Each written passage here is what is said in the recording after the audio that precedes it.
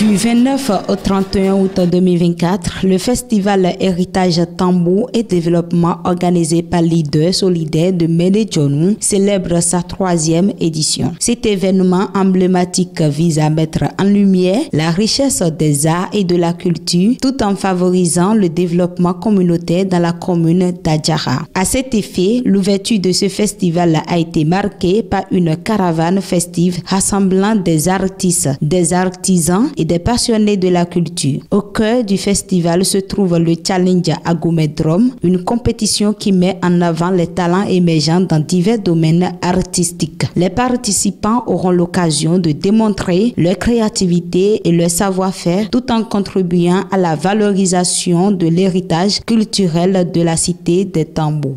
Festival euh, Héritage euh, Tambour et Développement parce que nous sommes à Djara et l'idée d'un festival euh, découle quand même d'un certain nombre d'actions que nous avons entrepris depuis bientôt 10 ans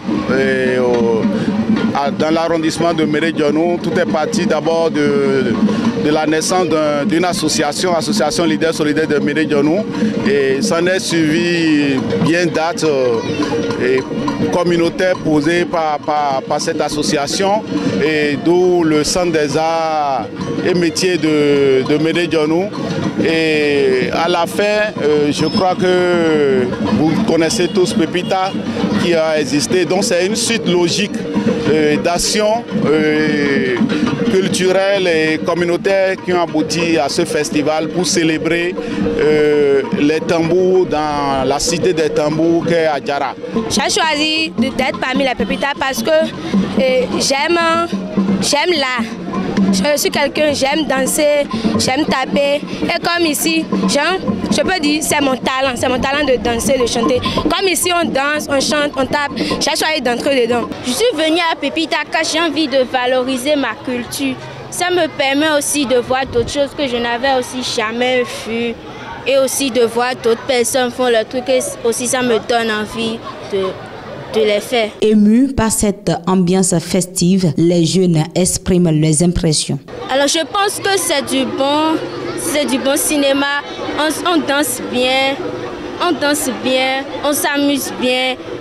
Et aussi, il y a d'autres enfants qui ont aussi envie de danser avec nous. En tout cas, ça se porte bien. Le festival débute aujourd'hui, c'est le 29, 30 ou le 31. Et c'est une déambulation qui marque notre, le début du festival. Quoi. Donc nous sommes très heureuses d'être dans ce groupe. Je suis très contente, parfaite. Jean. Franchement parlant, je suis très contente. Les souhaits à l'endroit des jeunes ambitieux d'art et culture et de la population sont énormes. J'ai choisi de dire à la population seulement de nous soutenir. Ce que nous sommes en train de faire, c'est quelque chose pour participer à l'évolution de notre pays. Parce que ici, c'est le Bénin, précisément à Djara, la cité des tambours. Et nous sommes très heureuses de, de valoriser nos percussions, les tambours. Donc, ce que j'ai à dire à la population seulement, c'est de nous soutenir.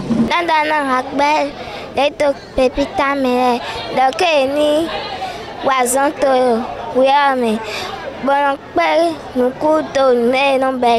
pour le reste des programmes, les organisateurs nous éclairent sur les différentes étapes.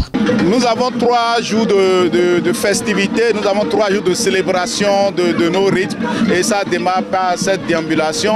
Ce soir déjà, vous avez euh, des concerts qui vont se tenir sur la scène du Centre des Arts et Métiers de Méridionou. Nous avons aussi euh, une compétition challenge à qui doit se dérouler ce soir, qui commence ce soir et qui finit demain. Nous avons des awards, nous, avons, nous allons célébrer. Ces percussionnistes émérites qui ont existé, qui continuent d'exister parmi nous. Et nous avons aussi, notre festival c'est Tamboué Développement, nous avons posé des actes de développement, nous allons reconnaître quand même nos talents au niveau scolaire, au niveau communautaire. Et ça va être trois jours de festivités avec des artistes de renom, des artistes qui sont aussi très très dans, leur.